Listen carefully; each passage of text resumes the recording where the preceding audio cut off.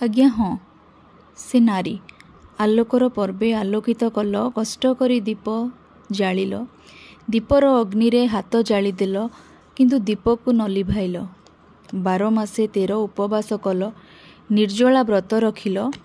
ଧନ୍ୟ ତୁମ ନିଷ୍ଠା ହୃଦୟ ପୂଜିଲ। ସଭିଙ୍କ ମନ ଜିତିଲ।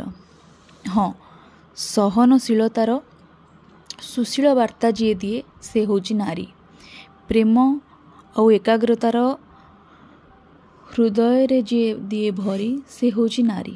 ଆଖିର ଲୁହକୁ ଓଠରେ ଦିଏ ସେ ମାରି ଅନ୍ୟର ଦୁଃଖକୁ ଆଦରି। ହୃଦୟ ତାହାର କରୁଣାର ସିନ୍ଧୁ ମାପିତା ହୁଏନି ଧୈର୍ଯ୍ୟର ବିନ୍ଦୁ। ବାତ୍ସଲ୍ୟ ମମତା ଢାଳେ ଜନନୀର ରୂପେ ପ୍ରେମ ଅନୁରାଗେ ମନକୁ ସେ ଜିତେ।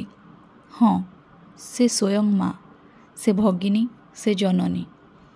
ସେ ସର୍ବସଂହାରିଣୀ ସେ ହେଉଛି ମା ଲକ୍ଷ୍ମୀ। ହଁ ସେ ହିଁ ନାରୀ। ହଁ ସେଦିନ ସେ ପାଇଥିଲା ନାରୀର ନାରୀତ୍ୱ। ସେହି ଅଚିହ୍ନା ମଣିଷଟି କହିଥିଲା କେଇପଦ କଥା। ଏବେ ବି ଭାବିଲେ ଭାଙ୍ଗିଯାଏ ଏ ନାରୀର ନୀରବତା। କାହିଁକି ଲାଗିଲା ଏତେ ସେ ନିଜର ତା ଭାବନାରେ ଏ ନାରୀ ଉଜାଗର। ବିତିଲା ଦିନ ପରେ ଦିନ ନାରୀତ୍ୱର ହେଲା ପରିପକ୍ୱ। ସମ୍ପର୍କ ଚାଲିଗଲା ଢେର ଆଗକୁ। ନାରୀତ୍ୱର ଆଭୂଷଣ ଆଉ ଉପଢୌକନରେ ସେ ଆଜି ପାଇଛି ନିଜକୁ। ହଁ ସେ ନାରୀ। ସେଦିନଠୁ ଆଜି ଯାଏଁ ସେ ନିଜ ଭିତରେ ଖୋଜିନି ନିଜକୁ। ପାଇଛି ଏକ ନାରୀତ୍ୱରେ ସବୁକିଛି।